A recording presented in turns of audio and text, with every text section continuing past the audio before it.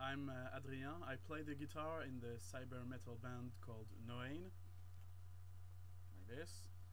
Uh, we are from France, and uh, we'll soon release our first album, so check it out. I was asked if it was important for a band uh, the country where you're from, and I think that it depends on the point of view.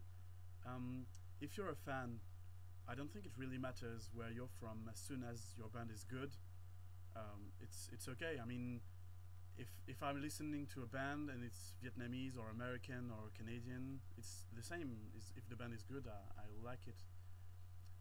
It can, however, matter if you are in a band because when you try to do something to uh, to play concerts, to uh, release an album or whatever, uh, it depends on how metal is seen in your country. I mean, I can't tell really about other countries, but I know in the US and in Sweden and in Germany, uh, metal is accepted. It's well known. Uh, we, we played at Wacken. It was, you know, there was national television, and everyone was happy that there was a festival, a metal festival, um, right next to their to their house. In France, for example, it's a bit more complicated. I mean, there are some people that uh, don't really know metal and don't like it and think sometimes it's dangerous.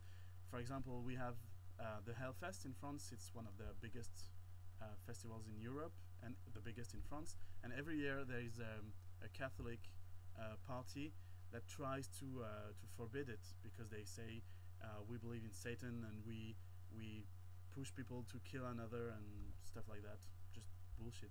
So as a matter of fact, French bands do tend to have difficulties to uh, to go out of the country, except uh, Gojira, of course, and some other bands that can uh, be known outside France. But for most bands, it's a bit complicated to be known outside France. And I think, and I know that in some countries it's even worse. Uh, I've met some Italian people, and, and they told me that there was rarely some shows there was no metal festival there, and it's it was really complicated. So I don't know about other countries like Asian or African countries. I know that some some countries where most people are um, are uh, Muslims, metal is really not not well accepted. So yeah, if you're a band and you want to do something with it, the band, well, the country where you're from really matters if you're just a fan and you listen to to music, the the country where the band is from doesn't really matter. I think, except if you're curious.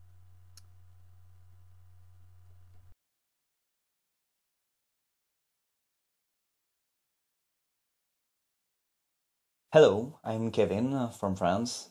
I'm a guitar player in the melodic metal band Elder Elderstales. Today, I'm gonna answer Rhys Stevenson question uh, for Global Metal Apocalypse. And the question is, what is the importance of uh, geographic location of heavy metal bands? I think there are two kinds of importance for uh, geographic location. The first one is the influence of other bands from the same country. I mean, some people will be more likely to discover new death metal bands from uh, Sweden, for example, or black metal from uh, Norway, industrial metal from Germany, and I think that's the main influence of uh, geographic location for the popularity uh, of a new band. But the second thing I want to talk about is uh, the opportunities given by uh, being in a country I mean, in France, uh, regular medias don't talk about metal. Metal is uh, not well known by most of the people in France. So it's kind of difficult to have opportunities uh, to display widely the music, and uh, so, so few people know about metal in France that it's really difficult for a band to live in this country.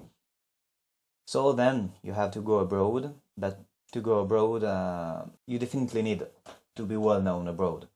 And uh, for this, internet is your friend. But um, if you have to go abroad, you have to spend some money to go there.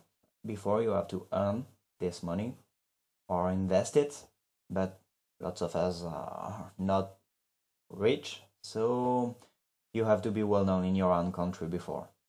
And uh, you have to make uh, great gigs and sell CDs in your country before you can go to another one, which your music is more likely to work.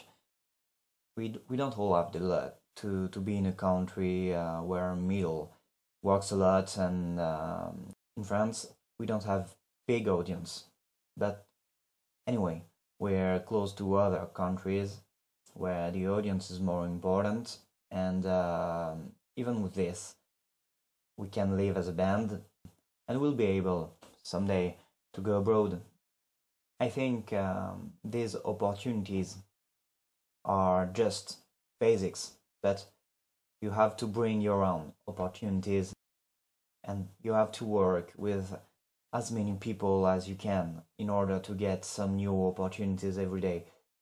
That's the point of view uh, of the band from France, but maybe uh, it's the same for other countries. I, I don't know it. I, I've never had a band uh, there, and uh, we've never been abroad uh, yeah, yet. So, so that's my point of view about the importance of geographic location. But I think we can do it anyway, um, anywhere you're from.